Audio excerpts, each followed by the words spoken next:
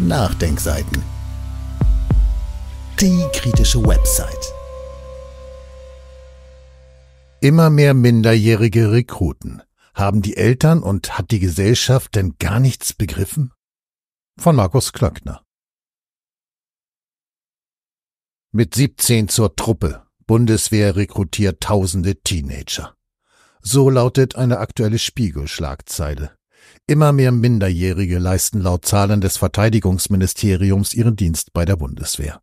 Und Jungoffiziere zeigen an Schulen Präsenz. Haben die Eltern und hat die Gesellschaft denn gar nichts begriffen? fragt Markus Klöckner in einem Kommentar. Je jünger angehende Soldaten sind, umso besser. Wenig Lebenserfahrung und Naivität treffen auf ausgefeilte militärische Ideologie und eine verschlagene Politik im Hintergrund.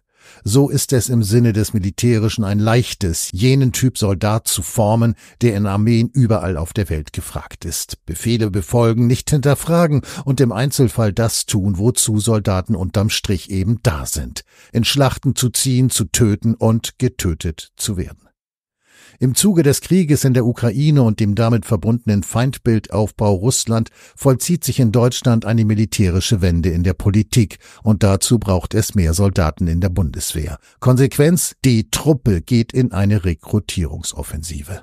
Schulen, die eigentlich ein politisch neutraler Ort sein sollten, öffnen verstärkt ihre Klassenräume für Jungoffiziere der Bundeswehr. Das ist, bei Lichte betrachtet, ein massiver Angriff auf die Köpfe der Schüler.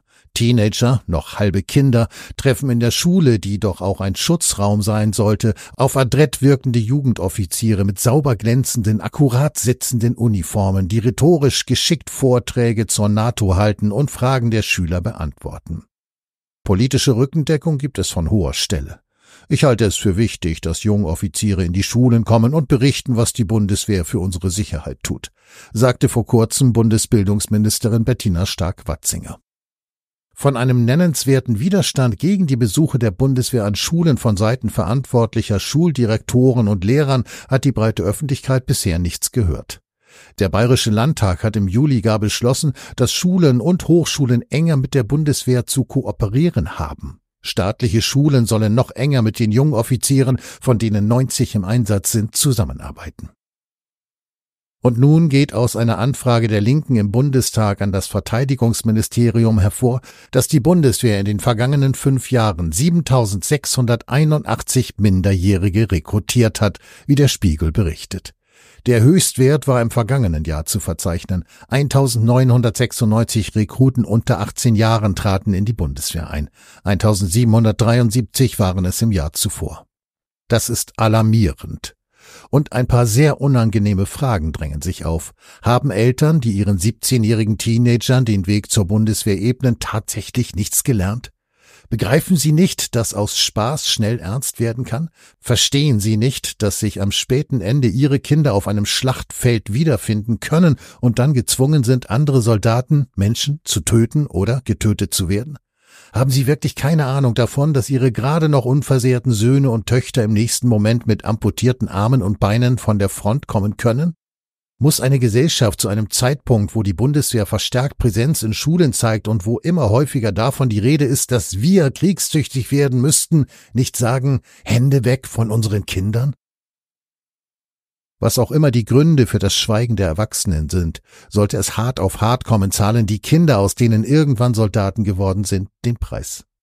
Sie zahlen den Preis dafür, dass Erwachsene, die alle Möglichkeiten haben, sich umfassend zu informieren, schweigen. Der von politischer Seite angestrebten Militarisierung begegnen weite Teile der Gesellschaft mit Desinteresse oder Unwissen. Ist es wirklich so schwer zu begreifen, dass Deutschland gerade einer massiven Manipulation aus dem Inneren ausgesetzt ist? Kalte Krieger projizieren aus ihren Köpfen ein Schreckensbild vom bösen Russland an die Wand, das der Realität nicht standhält. Auf dieses Trugbild bauen Politik und Bundeswehr ihre Forderung von der Verteidigungsfähigkeit. Auch wenn es sich um ein Trugbild handelt, das ist nicht harmlos. Nach und nach formt sich aus ihm eine Realität, die immer weitreichender ist.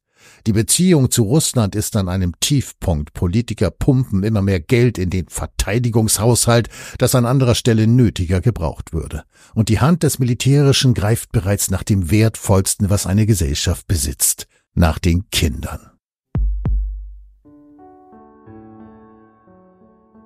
Dieses Audio konnte nur entstehen, weil zahlreiche Leser und Leserinnen die Nachdenkseiten fördern und durch Spenden unterstützen. Wenn Sie auch etwas tun wollen, klicken Sie einfach den entsprechenden Button auf unserer Website an. Übrigens, Sie können uns auch bei iTunes, SoundCloud und YouTube hören und wenn Sie mögen, gerne unseren Kanal abonnieren und eine positive Bewertung für uns abgeben. Wir freuen uns über Ihre Unterstützung und die Weiterverbreitung unserer Inhalte.